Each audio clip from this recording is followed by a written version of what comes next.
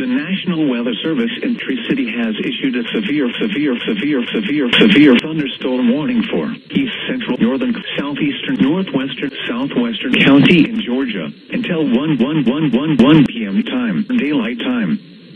At 12:35 p.m. time, daylight time, a severe thunder thunderstorm was located near east central Jefferson County, moving east at 30 35 miles per hour. Hazard 60 60 miles per hour wind gusts.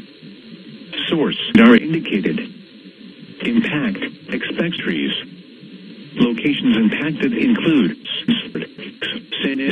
recreation area. Tornadoes can develop quickly from tornadoes.